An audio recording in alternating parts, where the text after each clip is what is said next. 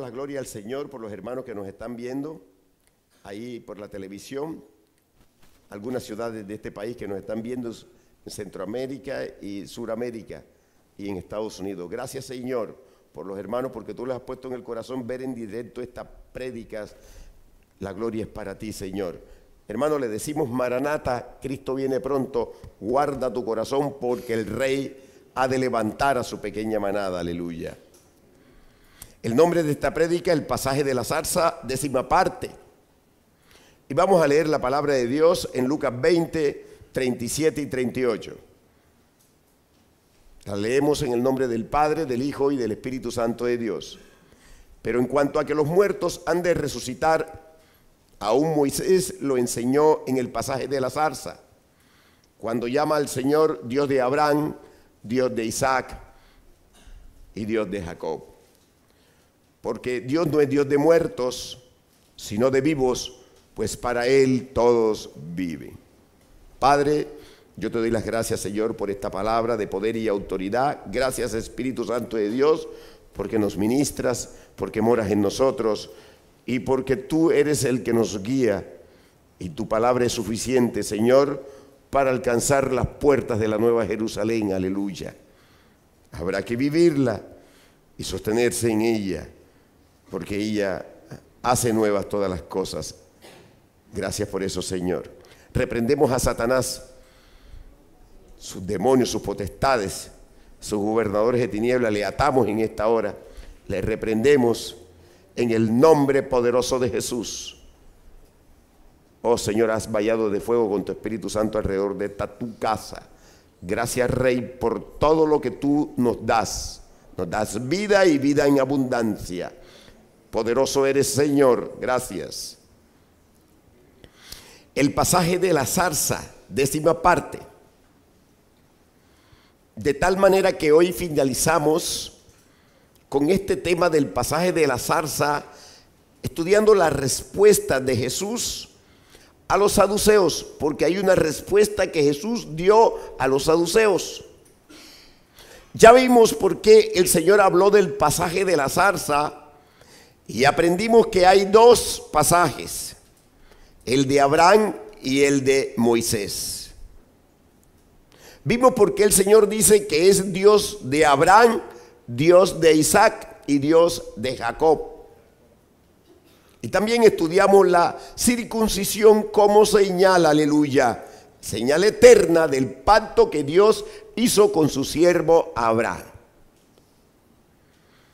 En esta noche quiero cerrar este poderoso pasaje, hermano, que muchos han pasado por alto. No han visto el tremendo significado, la profundidad y el alcance, la importancia que tiene este pasaje para la iglesia, al igual que para Israel y al igual que para las naciones. Aleluya.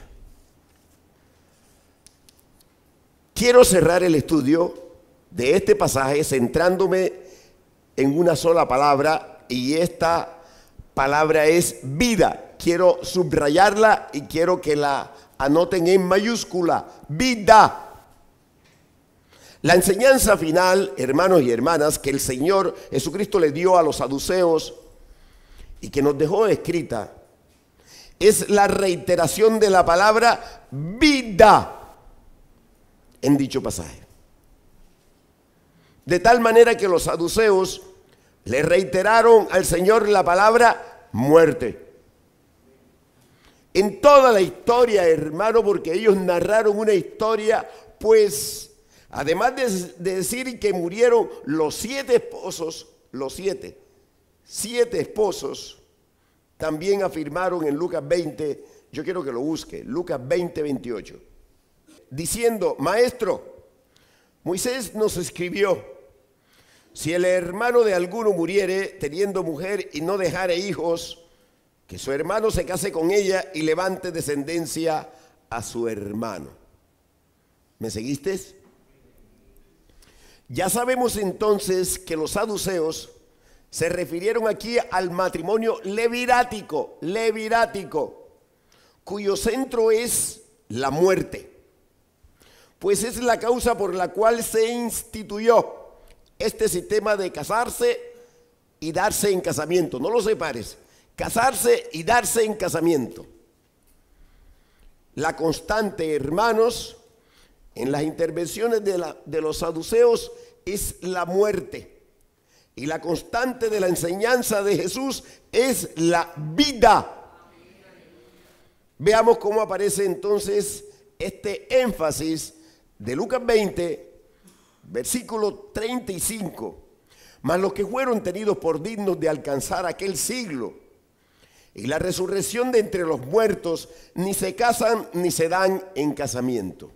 Esta expresión, aquel siglo, de acuerdo a lo que acabamos de leer, que es Lucas 20, 35, aquel siglo se refiere al siglo venidero, opuesto al siglo malo que el Señor llama este siglo. Y la característica del siglo venidero es la vida. La vida por la eternidad, mi amado, mi amada, que significa nunca muerte, pero también multiplicación y fructificación. Aleluya. De tal manera que en el versículo 35 que acabamos de leer también aparece la palabra resurrección de entre los muertos, lo cual es vida. Y la última expresión es no casarse, no darse en casamiento, que implica también vida. Pues lo que el Señor dijo es que ya no seguiría más el sistema levirático que describieron los saduceos en el versículo 28. Y que está marcado, hermano, por la muerte, no tengas ninguna duda, ya que no seguiría más en el reino venidero en el cual reina la vida. Aleluya. En el versículo 36 de Lucas 20 vemos también que el centro es la vida, porque no pueden ya más morir, pues son iguales a los ángeles y son hijos de Dios al ser hijos de resurrección. Estoy hablando de Lucas 20, 36. ¿Qué es lo que dice el Señor aquí? No pueden ya más morir, reiterando la vida cuando compara a los que alcanzan la resurrección con los ángeles. ¿Sabes qué te digo? Aquí se reitera la vida, porque ellos nunca mueren. Quienes nunca mueren los ángeles. De igual manera dice, hijo de Dios, se reitera la vida porque solo ellos tienen vida eterna. Y cuando dice, hijos de resurrección, hermano, mire, aquí nuevamente se hace énfasis en la vida. Yo quiero que leamos el versículo 37 de Lucas 20. Mira cómo dice. Pero en cuanto a que a los muertos han de resucitar, aún Moisés lo enseñó en el pasaje de la zarza cuando llama al Señor Dios de Abraham, Dios de Isaac y Dios de Jacob. El Señor le repite a los saduceos la vida como respuesta contundente, pues les hace evidente lo que tenían en su corazón y es la negación de la vida eterna, pues negaban la resurrección. Ese era el problema. Y ese es el problema de muchos hombres, niegan la resurrección. El Señor Jesucristo le dice que los muertos sí resucitarán y les recuerda el pasaje de la zarza de Abraham cuando fue a sacrificar a Isaac en el monte Moriac. En este primer pasaje de la zarza, sabemos que lo que se reitera es la vida. Pues Abraham recibió a Isaac resucitado en sentido figurado. El cordero trabado en la zarza prefiguraba al Señor Jesús en su sacrificio. Como cordero inmolado. Aleluya. Cuya muerte nos ha traído vida. Vida, vida.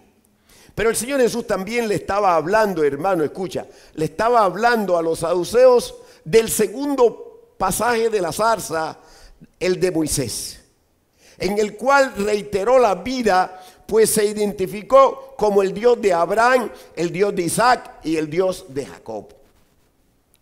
Con lo cual estaba enseñando que ellos están vivos delante de Él.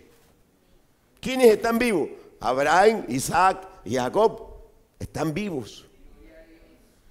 Porque en el Señor no hay muerte, hay vida. Hay vida. Y eso se le olvida a todos los que están marcando tarjeta frente a la terrenalidad, frente a este siglo malo. Porque no tienen clara ni la herencia ni las promesas que el Señor ha dado. Se les ha perdido el libreto se les ha perdido el testamento. Aleluya. El viejo y el nuevo. ¿Quién dijo amén? Aleluya.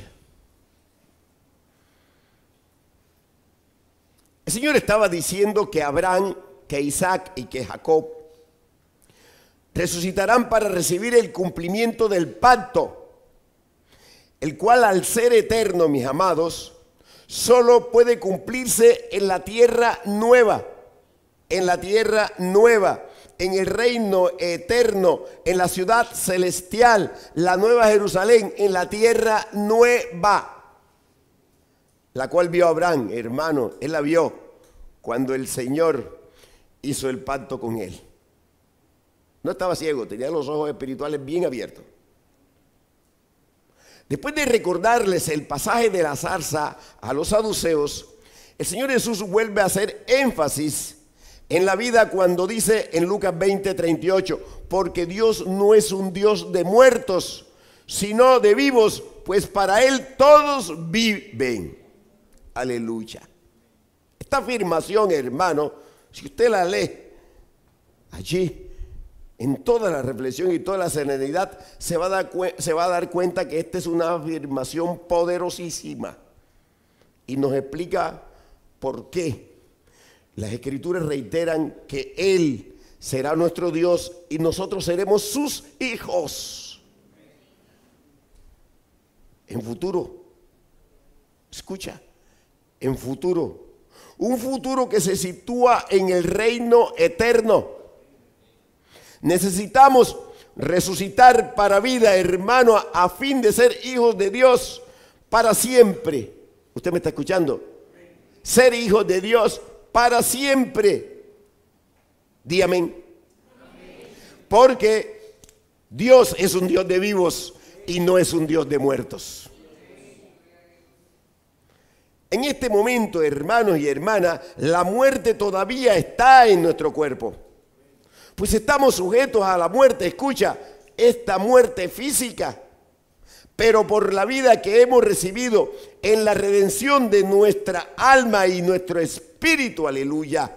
Tenemos la promesa de la redención del cuerpo, hermano, la adopción de nuestro cuerpo. Solamente cuando tengamos nosotros el cuerpo resucitado, vivificado, glorificado, se cumplirá la promesa que el Señor le ha hecho de ser nuestro Dios y nosotros de ser sus hijos.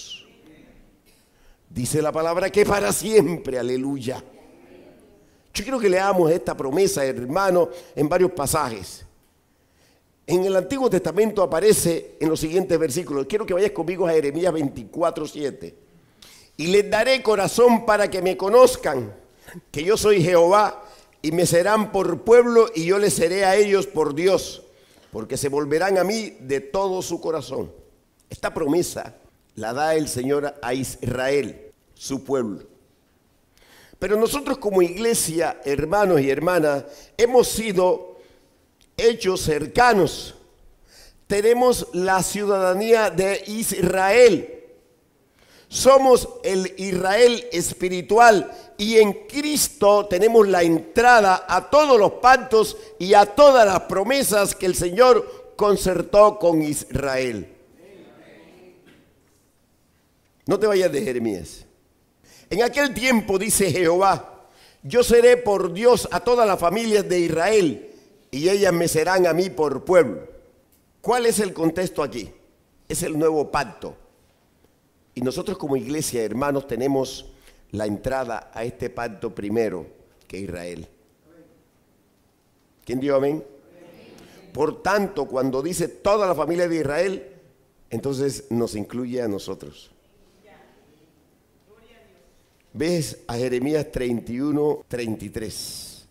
Pero este es el pacto que haré con la casa de Israel después de aquellos días, dice Jehová daré mi ley en su mente y la escribiré en su corazón, su raya la escribiré en su corazón. Y yo seré a ellos por Dios y ellos me serán por pueblo. Aquí el contexto sigue siendo el nuevo pacto. El Señor promete que dará su ley en nuestra mente y la escribirá en nuestro corazón. Esto ocurrirá en el reino eterno, porque nunca más pecaremos y nunca más habrá muerte. Acompáñenme en el libro de Ezequiel 37, 23. Ni se contaminarán ya más con sus ídolos y con sus abominaciones y con todas sus rebeliones, y los salvaré de todas sus rebeliones con las cuales pecaron, y los limpiaré, y me serán por pueblo, y yo a ellos por Dios. Miren que el Señor promete aquí, mis hermanos, que en la tierra nunca más habrá ídolos, nunca más habrá demonios. Esto ocurrirá en el reino eterno. Fuera los demonios. Nos libraremos de todo eso, hermano. Ahora mismo apestan, nos libraremos de eso. Pues esto, hermano, y Satanás estarán para siempre allá, a donde les corresponde estar en el lago de fuego. Ahí mismo en Ezequiel, vete al versículo 26. Y haré con ellos pacto de paz, pacto perpetuo será con ellos y lo estableceré y los multiplicaré y pondré mi santuario entre ellos para siempre. Estará en medio de ellos mi tabernáculo y seré a ellos por Dios y ellos me serán por pueblo, por siempre, hermano, por siempre. Aleluya.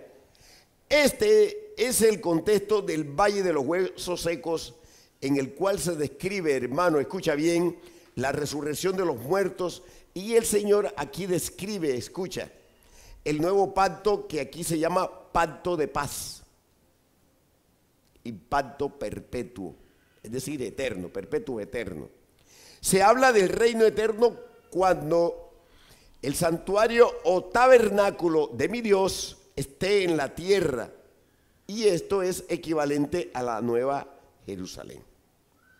Veamos ahora entonces las citas que están en el Nuevo Testamento, donde se reitera el futuro, que el Señor será nuestro Dios y nosotros seremos su pueblo. ¿Para cuándo? Para siempre. Para que veamos, hermano, la permanencia de la promesa y cómo se mantiene en la iglesia. Ves conmigo a Romanos 9, 23. Y para hacer notorias las riquezas de su gloria, la mostró para con los vasos de misericordia que él preparó de antemano para gloria, y a los cuales también ha llamado, esto es, a nosotros, no solo de los judíos, sino también de los gentiles. Como también en Oseas dice, llamaré pueblo mío al que no era mi pueblo, y a la no amada, amada. Y en el lugar donde se les dijo, vosotros no sois pueblo mío, allí serán llamados hijos del Dios viviente. Dale la gloria a Dios por esa palabra.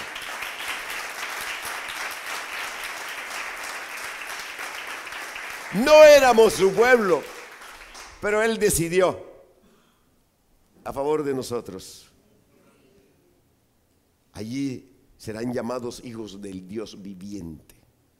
Mira que en el versículo 24 el apóstol Pablo dice que tanto los judíos como los gentiles, nosotros, hermanos, nosotros, tenemos la promesa de ser llamados pueblo de Dios y de que el Señor sea nuestro Dios. Aleluya. Seremos hijos del Dios viviente. Hermano, esto es el reino eterno. De allí no nos moverá nadie. Aleluya. Hermano, padezca todo lo que pueda ahora. Pero lo que nos espera es tremendo, hermano. No cabe en este pechito. Aleluya. Mire, segunda de Corintios 6, 14, búscalo. No os unáis en yugo desigual con los incrédulos, porque qué compañerismo tiene la justicia con la injusticia, y qué comunión la luz con las tinieblas, y qué concordia Cristo con Belial, o qué parte el creyente con el incrédulo, y qué acuerdo hay entre el templo de Dios y los ídolos porque vosotros sois el templo del Dios viviente, como Dios dijo, habitaré y andaré entre ellos, y seré su Dios, y ellos serán mi pueblo, por lo cual salid de medio de ellos y apartaos, dice el Señor, y no toquéis lo inmundo, y os recibiré, y seré para vosotros por Padre, y vosotros me seréis hijos e hijas dice el Señor Todopoderoso, aleluya. Dale la gloria a Dios.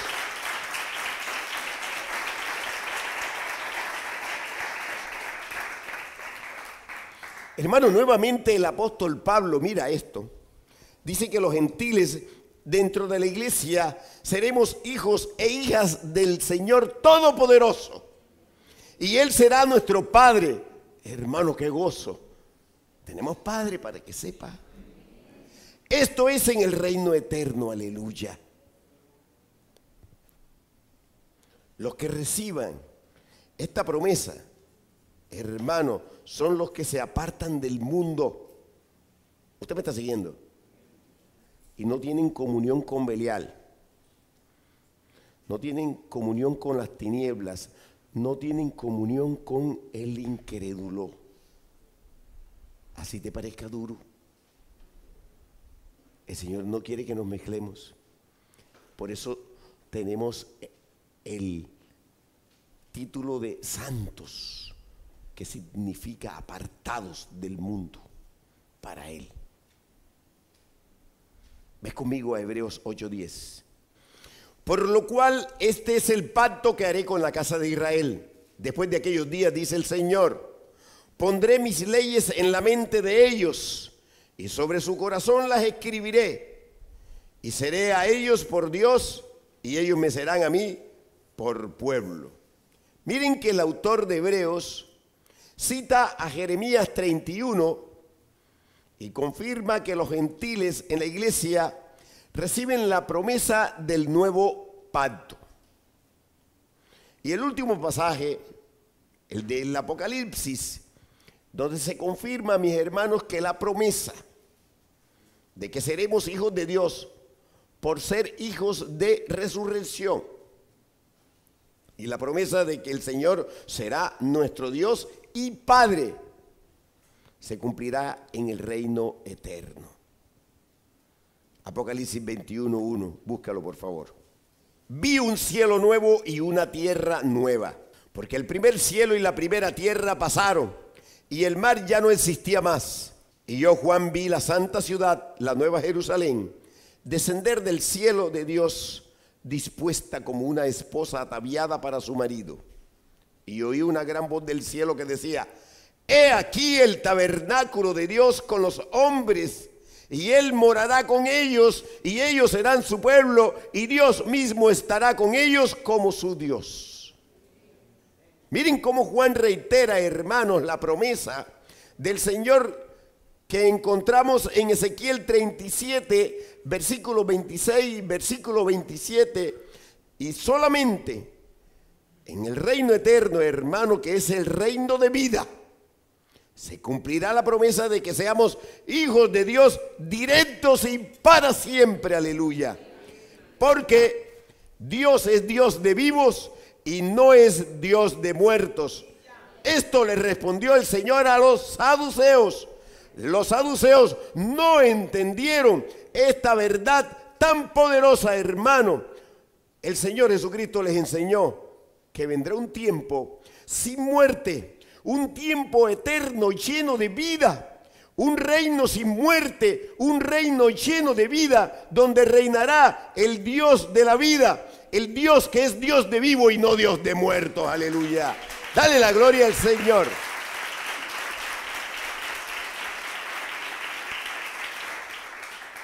Hermano, el Señor Jesucristo le enseñó a los saduceos y nos enseña a través de este poderoso mensaje de Lucas 20. Ahora lo que leíamos hace unos momentos de Lucas 21, 4. Mira lo que dice, enjugará Dios toda lágrima de los ojos de ellos. Apocalipsis 21, 4. Enjugará Dios toda lágrima de los ojos de ellos y ya no habrá muerte, ni habrá más llanto, ni clamor, ni dolor, porque las primeras cosas todas pasaron. Todas. Ahí dice que todas pasaron. De tal manera que la mujer de la historia de los saduceos en Lucas 20 padeció la muerte de su esposo. Lloró la muerte de su esposo, sintió el dolor de la muerte, pero Dios ha prometido que veremos la vida por la eternidad. Hermano, que tendremos vida por la eternidad, que disfrutaremos y nos deleitaremos en la vida por la eternidad. Pero la mujer de la historia de los saduceos también vio el dolor de no ver descendencia. Pero el Señor ha prometido que todo aquel que entre al reino eterno, escucha hermano y hermana, es decir, al reino de vida, tendrá descendencia como las estrellas de los cielos las estrellas a perpetua eternidad, tendrá herencia por la eternidad. Hermano, mire que los saduceos ignoraron las escrituras y el poder de Dios. Y cuando preguntaron, ¿de quién será la mujer? Ignoraron que el Señor determinó lo que dice Apocalipsis 21:5. Y el que estaba sentado en el trono dijo, He aquí yo hago nuevas todas las cosas y me dijo, escribe porque estas palabras son fieles y verdaderas. De tal manera, hermano, que en el reino eterno no habrá más memoria del siglo malo. Este siglo malo al cual nosotros todavía nos toca de vivir unos minuticos más. Porque todo está cerquita. Y pronto va a sonar la trompeta, hermano. No habrá más memoria de este siglo malo. Hermano, con todas sus obras malas, con este reino de muerte, reino de pecado, no habrá más memoria de lo malo. Y la respuesta que el Señor Jesús le dio a los saduceos es la vida plena del siglo venidero. Y para cerrar, yo quiero que leamos lo siguiente, mis amados. Juan 6, 47. Juan 6, 47 dice, de cierto, de cierto os digo, el que cree en mí tiene vida eterna. Yo soy el pan de vida. Juan 11, 25 dice, le dijo Jesús, yo soy la resurrección y la vida. El que cree en mí, aunque esté muerto, vivirá. Y Juan 14, 6, Jesús le dijo, yo soy el camino y la verdad y la vida. Nadie viene al Padre sino por mí. Alabado sea el Señor. Dale la gloria a Dios. Poderoso eres, Señor, poderoso.